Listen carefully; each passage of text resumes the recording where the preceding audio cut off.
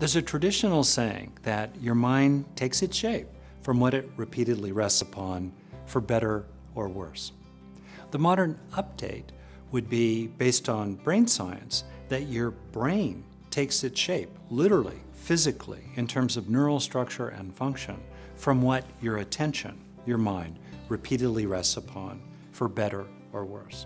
There's so much research on humans and on non-human animals that shows that if we repeatedly rest our attention on experiences of stress, irritation, self-criticism, resentment, feelings of inadequacy, well, over time, the brain will, in effect, gradually take a shape of vulnerability to stress, overreactivity, and negative mood, and weakening of self-control. Obviously, we should rest our attention on the real problems that need to be solved, but think about how often your attention gets hijacked by one thing or another and pulled into something that you might ruminate about or become preoccupied with.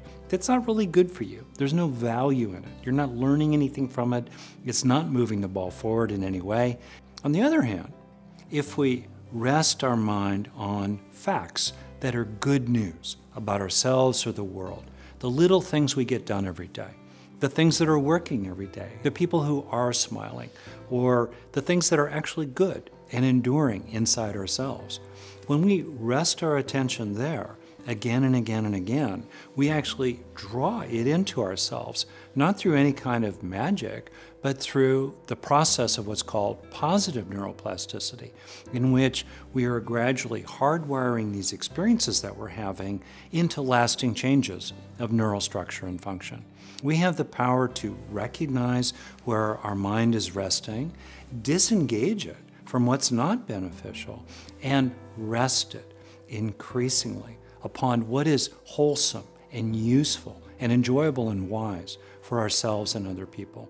In this program, I've pulled together more than 50 of the most powerful ways I know to rest your mind on things that are good for you and others, and in the process of that, have an immediate reset in the moment of doing it, and over time, gradually grow an unshakable core of calm, contentment, confidence, happiness, resilience, and inner peace inside yourself.